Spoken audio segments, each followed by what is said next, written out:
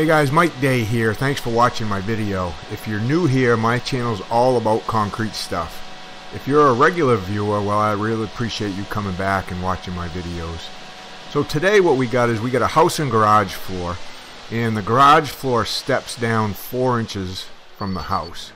So the house is up back, and right what we're doing right now is we're setting grades to the house, and then it's going to step down into the garage there where Luke is on the right and that's going to be even with the bottom of that 2x6 the garage level.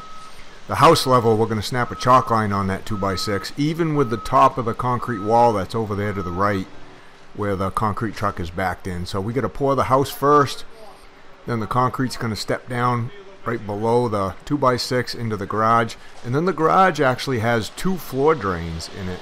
So we got to slope the garage floor to both those floor drains for each bay now what I want you guys to tell me is, do you think this is an easy pour or like a moderate type of pour or a difficult pour down in the comments. Let me know what you guys think.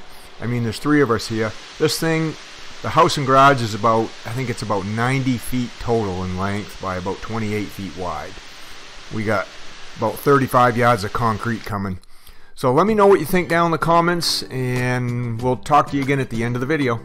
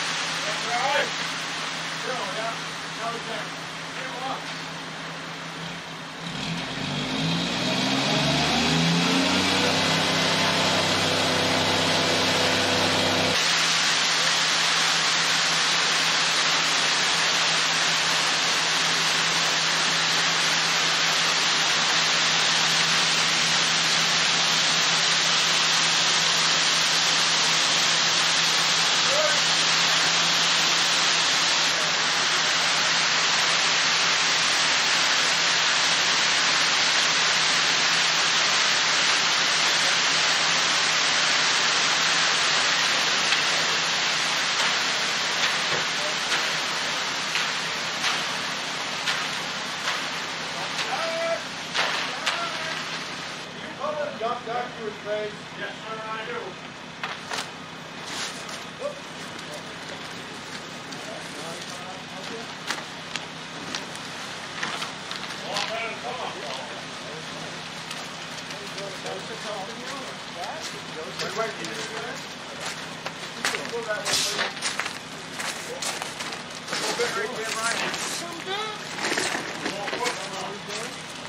Girl.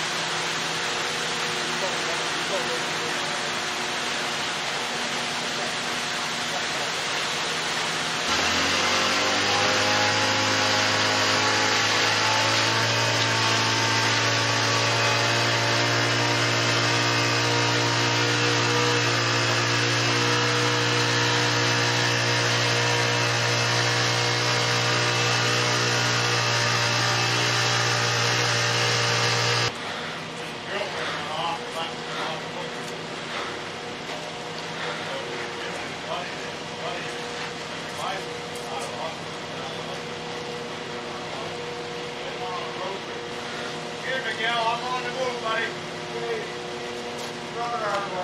Yeah.